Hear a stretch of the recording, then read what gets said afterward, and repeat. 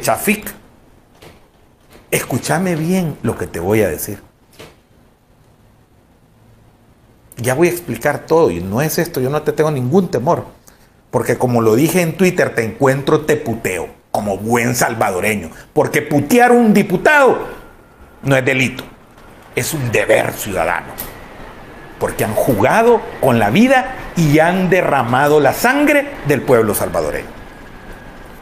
Pero bien, ¿qué les preocupa? Ah, que ahora los vamos a exhibir ante el pueblo. Y este pueblo no lo van a callar. Aquí hay derechos consagrados en la Constitución. Derechos esenciales y fundamentales. La libertad de expresión. Y no estén inventando pajas de que pueden meter preso a la gente y ponerle 15 años, porque es mentira. Y se lo voy a demostrar hoy al país. No pueden, porque no existe delito alguno en el cual pegarle una puteada a un sinvergüenza como son los diputados de Arena, del Frente, del PCN y del PDC. No todos, pero la inmensa mayoría de ellos. Una mayoría calificada de ellos, más de 56, son dipurratas. Son diputados de mierda, como les dice el pueblo. Aquí estoy. Y no hay fiscal general de la República, ni órgano legislativo alguno que me pueda a mí decir que no les diga así. Y les voy a explicar por qué. Así, vamos a entrar en orden. ¿Cuántos estamos conectados? 5.300 en Facebook y en la plataforma de YouTube estamos 3.300. Ya casi llegamos a los 9.000. Compartamos. Aquí va la cosa. Miren, este libro que vamos a aprender a usar hoy sí los salvadoreños, los salvadoreños, Dice en su artículo número 15, dice, les voy a explicar esto. Artículo número 15, pedirle a Mari Carmen, que es la imagen, si no me equivoco, la imagen número 1 de este día. La número 1, ahí la van a tener usted. Dice, artículo 15, nadie puede ser juzgado sino conforme a las leyes promulgadas con anterioridad al hecho de que se trate y por los tribunales que previamente haya establecido la ley. Pero vuelvo a leerlo, vuelvo a leerlo. Nadie puede ser juzgado sino conforme a las leyes promulgadas con anterioridad al hecho de que se trate. Bien, ¿qué tiene que ver esto? Este es el principio de legalidad sobre los tipos penales en El Salvador, sobre la penalidad, sobre la concreción de los delitos en El Salvador. Nadie puede ser juzgado si no existe una norma jurídica que regule esa conducta y que diga que esa conducta está fuera de la ley. El artículo, el artículo del Código Penal que encabeza de nuestra legislación penal dice lo siguiente. Vamos a leer, a leer esta parte porque es importante que ustedes lo conozcan, para explicárselo jurídicamente. Voy a hablarle jurídicamente, políticamente, socialmente esta noche, para que entiendan estos animales de qué es lo que estamos hablando. Miren, el artículo de nuestra legislación penal, el número uno, dice así, nadie podrá ser sancionado por una acción u omisión que la ley penal no haya descrito en forma previa, precisa e inequívoca como delito o falta, ni podrá ser sometido a pena o medida de seguridad que la ley no haya establecido. Repito, nadie, artículo número uno de la legislación penal, ya les demostré la constitución en la pirámide, en el ordenamiento jurídico, en la punta en una supremacía es la Constitución, artículo 15.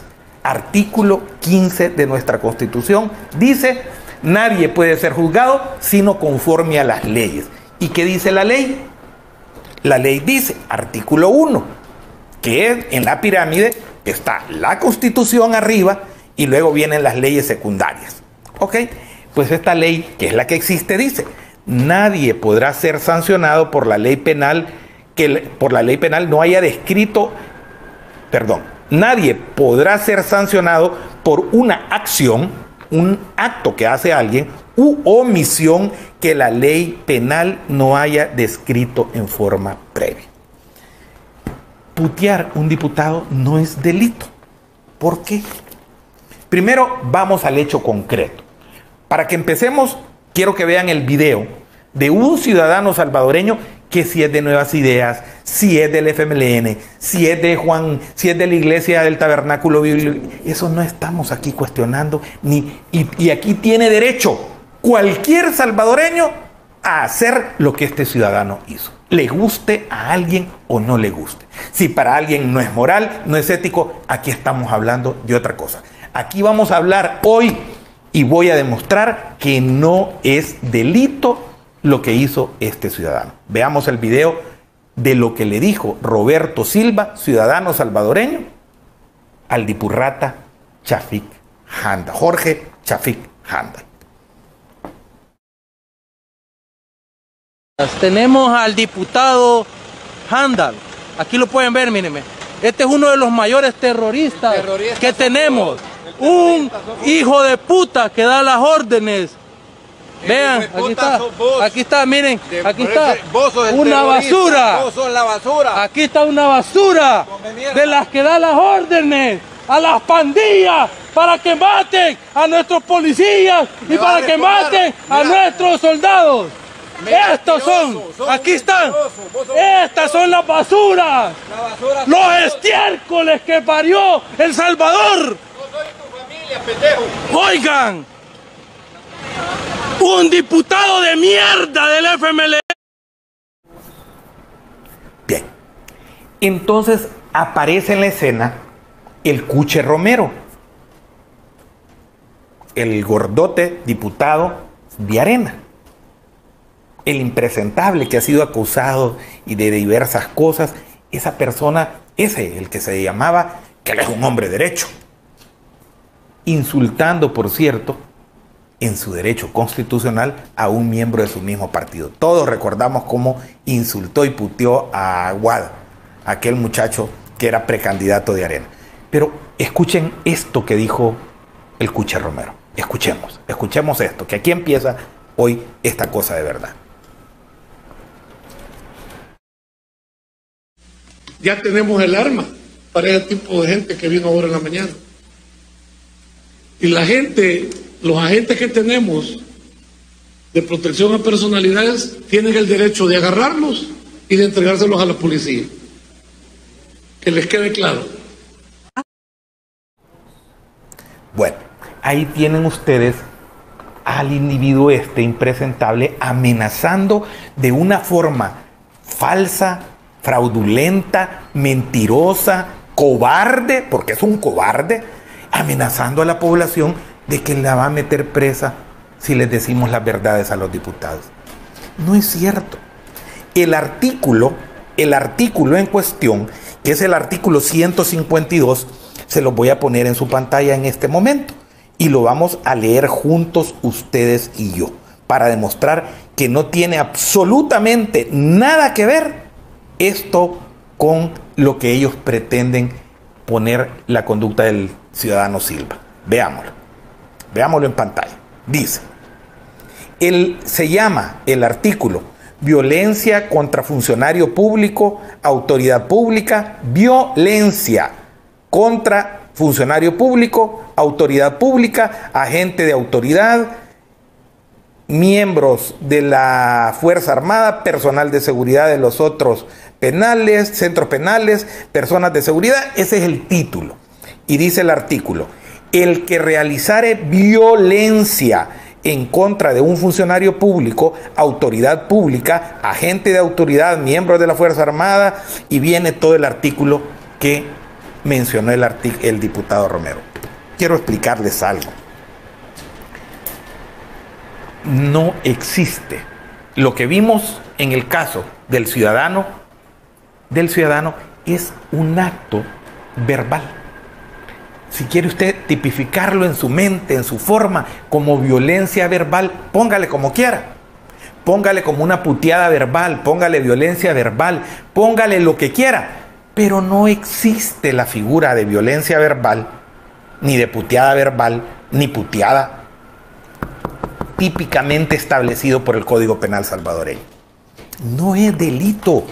¿A qué se refiere? para el cometimiento de una conducta delictiva, quiero, quiero, quiero antes de esto darles un antecedente. Yo fui presidente de la Comisión de Legislación y Puntos Constitucionales que hizo los códigos penal y procesal salvadoreños.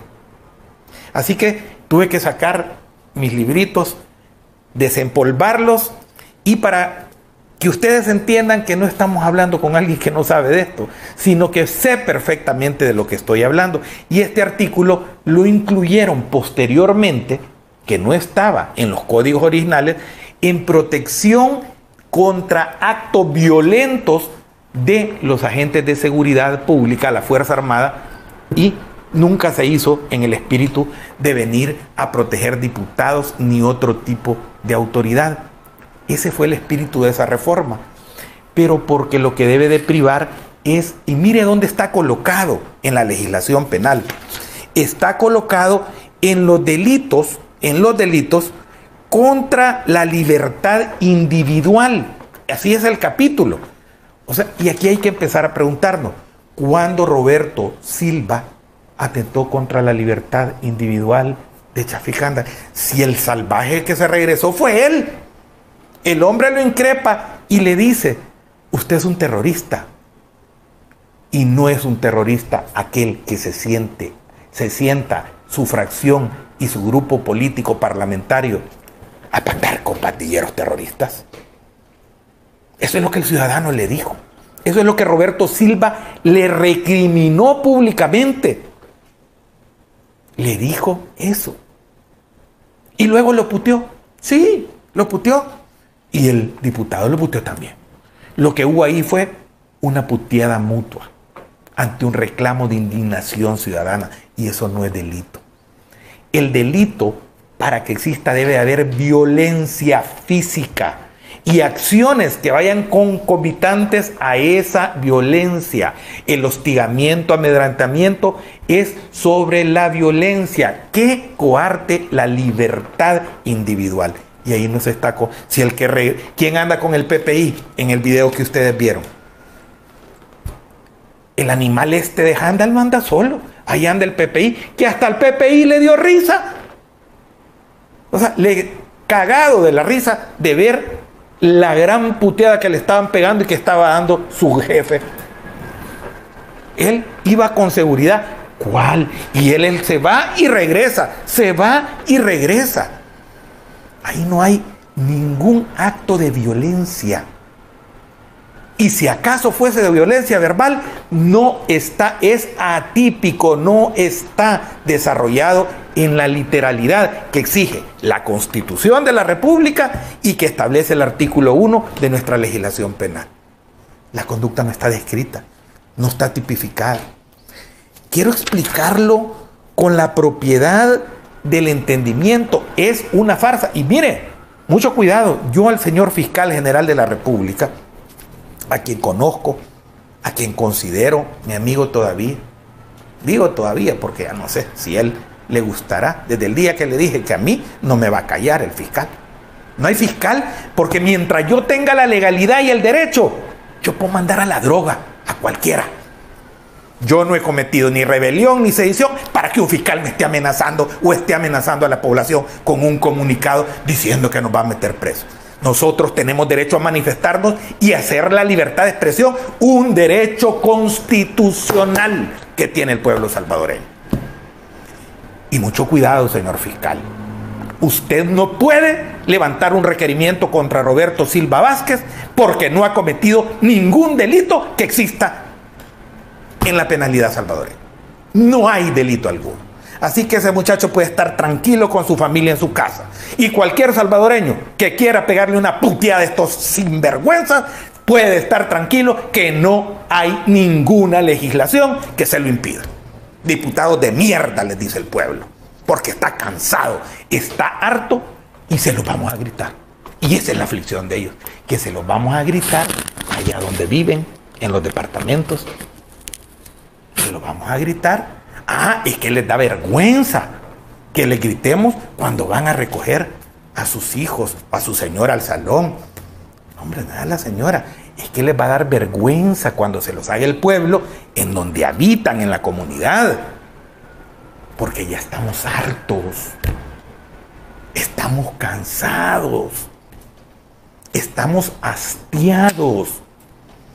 Y por eso es que la gente y este clamor popular no lo van a detener.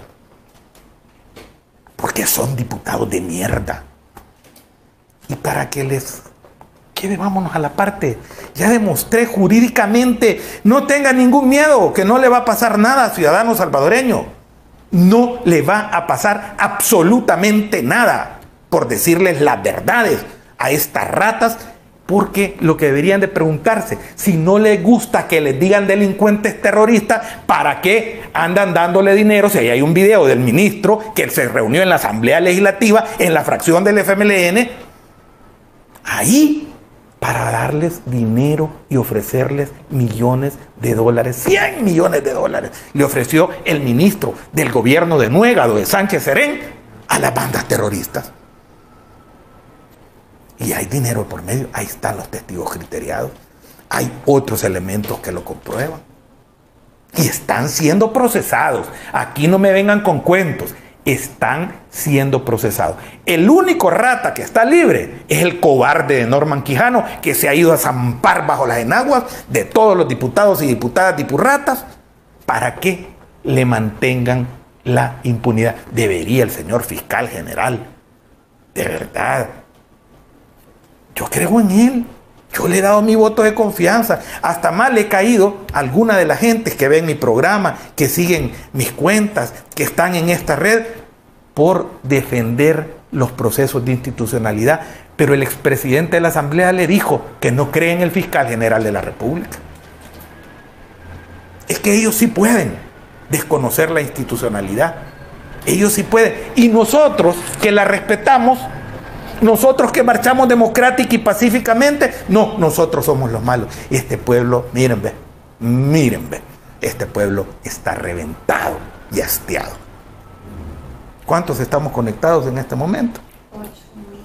8 mil en YouTube y 5.300 Ya somos más de 13.000 personas, más los 2.000 y tantos en Periscope. Este es el programa de opinión política número uno. Yo no tengo miedo. Yo no les tengo miedo. Y yo les digo, es que esto empieza. Esto empieza.